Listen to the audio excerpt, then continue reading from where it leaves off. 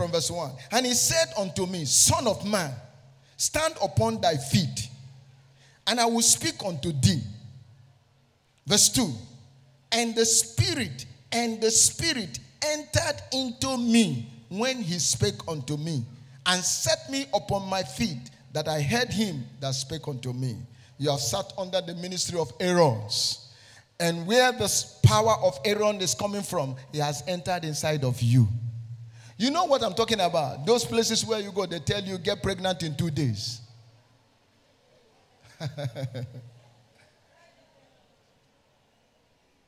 Those places will tell you that in two weeks' time you'll get married. Those places they tell you that the color of the inner wear you're putting on. If you have ever gone there and sat down, I give you God's word, you need deliverance.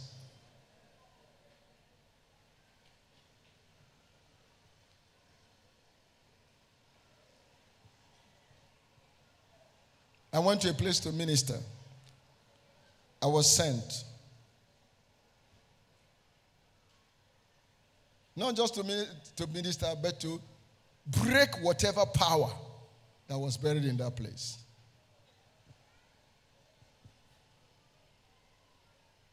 Somebody was running a church, I won't mention the place, but here in Port Harcourt. Right here in Port Harcourt, here. And when she was running a church, and the, day of her fellowship, the road where the church is is blocked, closed, because of crowd of people.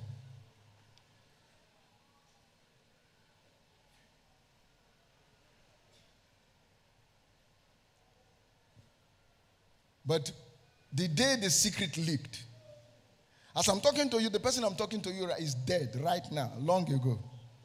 The husband of the woman that owned the church came to the office here. I spoke with him face to face with Pastor T.A. George. And some of you have been in places like this, where Aaron is the minister in charge.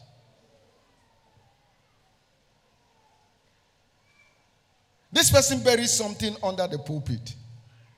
And the one that he buried under the pulpit is the one that makes, enables her to see into your life and tell you the number of your telephone.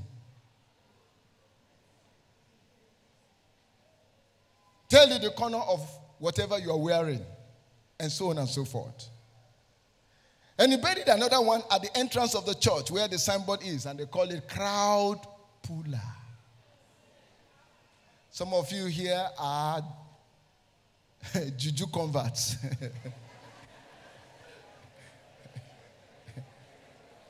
spell converts, spell members. And that's why I call them congregation of the living dead.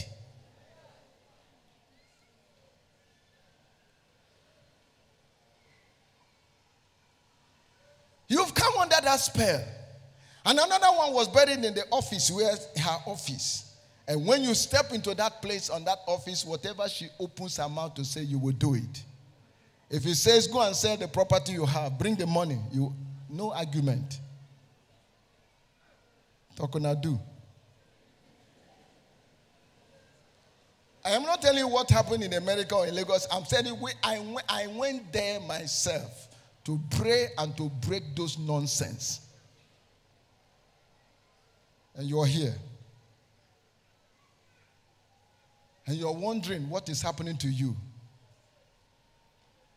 You don't know where you went to. He went to the ministry of Aaron, and the spirit by which he spake has entered inside of you. And if nothing is done, that is how it will be ravaging your life and pass from generation to generation. So the foundation was faulty and was bad. The Bible tells us in the book of John, chapter 3 34, when God sends a man out, when God calls a man and sends him, that man speaks God's word. Hello? He speaks what? God's word. For whom him whom God has called speaks what? the word of God. Pastor, what do you speak to them? Is it God's word or motivational write offs of men? Seven keys of prosperity. Don't get me wrong. The church need to prosper. I didn't hear you say amen. Because without money, you won't gather here. So we need money. And that is the truth. But listen to me. All those motivational talks, and the devil is the master, the one masterminding it. And gradually, gradually stealing the word of God away from people. If you take a statistics now, you realize and discover that majority of people that are here now, they, they are not having their Bible.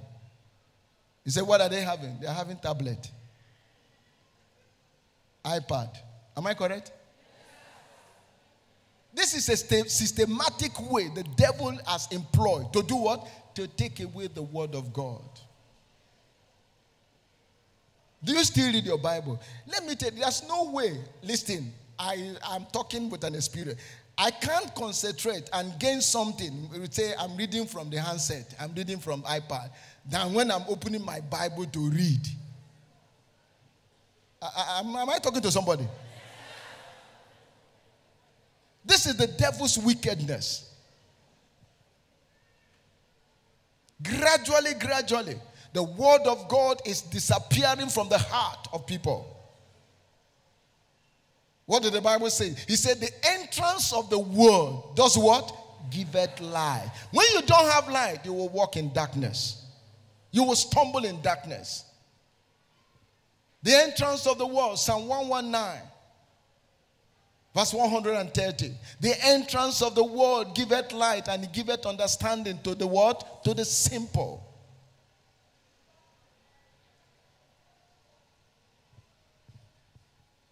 He whom God sends out speaks the word of God. Pastor, what do you speak to them?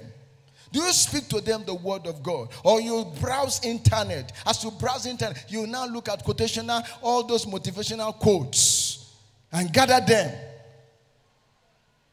from John Maxwell and John this one and that one, and you compile them and you go and load to them. Where is the word of God?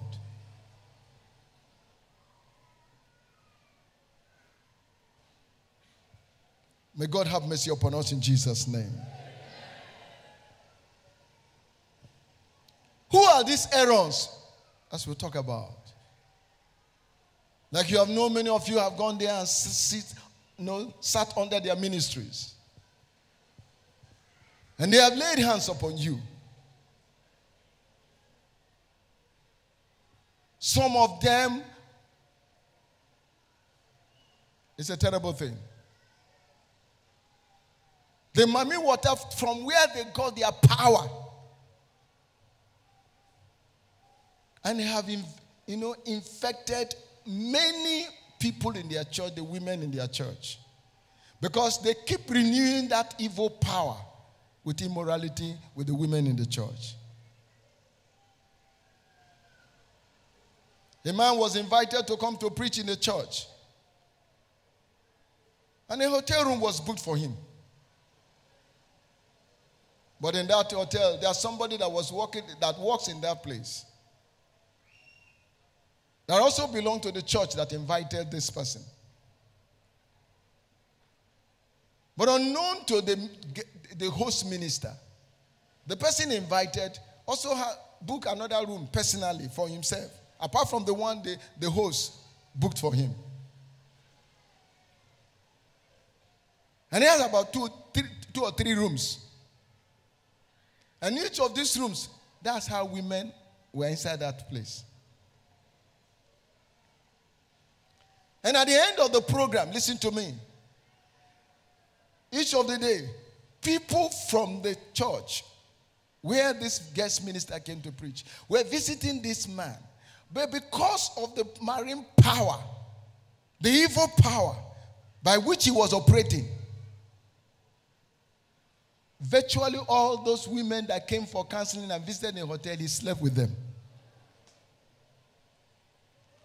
And this small person that was working in that, that works in that rest in the host, uh, hotel, when he saw this, he ran to the pastor and said, Sir, sir, I, I don't think you know what is going on. This is this, this is this. The man said, No, it can't be. It cannot be. It cannot be. He said, I'm telling you, I, that is where I walk. The man said, Okay. At the end of the program, he's applied wisdom and cornered all the women, the music, and everything, and started talking. They didn't know where he was going. He asked them, Did anybody at, at least you know showed kindness, uh, visitation to our guest minister, or say thank you or whatever? And how many of they raise hands up?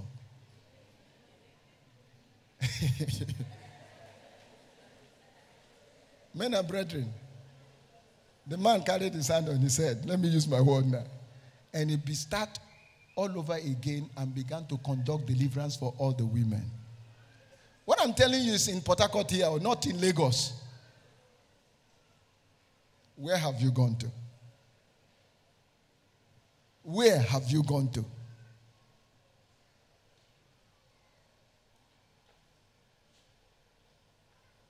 Native doctor threatened a, a, particular minister in Lagos and walked down to the church in the morning. Congregation were there. He walked straight to the altar and pulled out the altar and collected his juju and walked away. Yes. How many of you heard of it? How many of you heard of it? Raise your hand. God bless you. Walk in the church, congregation full, straight with his regalia to the altar. Push away the altar and carry his juju and walked away. You have gone to those places. Aaron have sold us.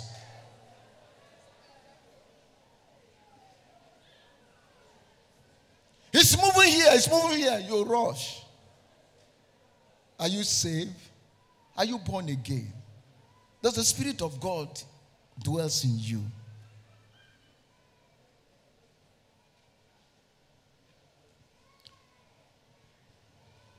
Who are these Aarons?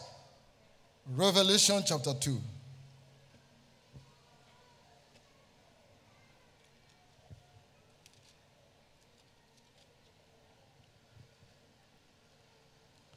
Revelation chapter 2, I read verse 18 and to 20. Revelation chapter 2, 18. And unto the angel of the church in Thyatira write, This thing saith the Son of God, who had his eyes like unto a flame of fire, and his feet are like fine brass. Verse 19, I know thy works, and charity, and service, and faith, and thy patience, and thy works, and the last to be more than the first. Verse 20. Notwithstanding, I have a few things against thee. Because thou sufferest that woman, that woman, that woman, Jezebel, which calleth herself what? So there are self appointed apostles, self appointed prophets. These are the Aarons we are talking about. That's why, who made you a prophet? Who made you an apostle? Who made you whatever? Thou suffered that woman called Jezebel who called herself what? A prophetess. A prophetess. To teach and to do what? To seduce my servant to commit fornication and to eat things sacrificed unto idols. Are there not many women in the church? You don't know where. That's why we must be careful. You see women, those who are supposed to be mothers in Israel, and they are competing with their daughters in fashion.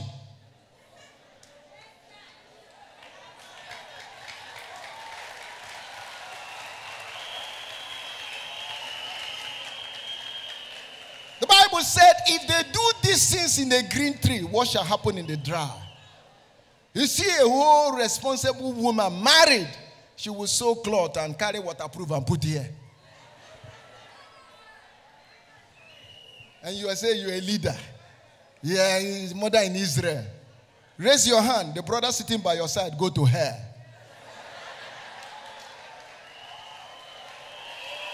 Jezebel.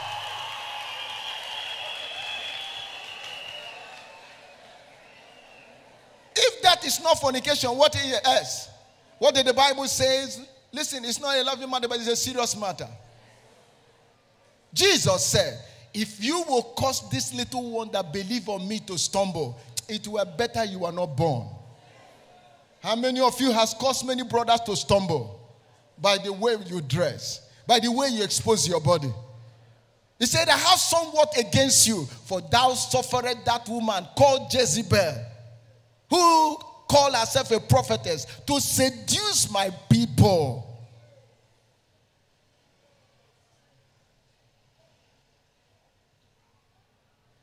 These are the Aarons we are talking about. Who are they? Those that call themselves apostles and prophets and pastors.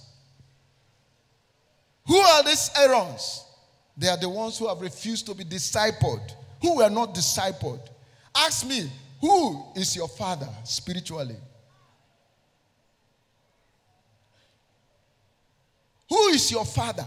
Who discipled you? You run from here to here, freelance, independent. You don't want to sit down to learn. You don't want to be tutored. The Bible tells me in the book of Luke, chapter 2, from verse 41 to 52, Jesus, at the age of 12, went to the church with his parents. And after the service, the parents left. He was still in the church. And they were looking for him for three days. Eventually, they found him in the church and said, Son, why have you tossed dead with us? We've been looking for you, sorrow, sorrowing. Jesus said, Why must you be looking for me? Don't you know that I must be about my father's what? Business. What was his father's business? The Bible says he was sitting and listening and what? Learning. The King of Kings and the Lord of Lords. Where are the young men? Where are the youth that God intend to prepare to hand over the baton, but they will not want to sit down to learn?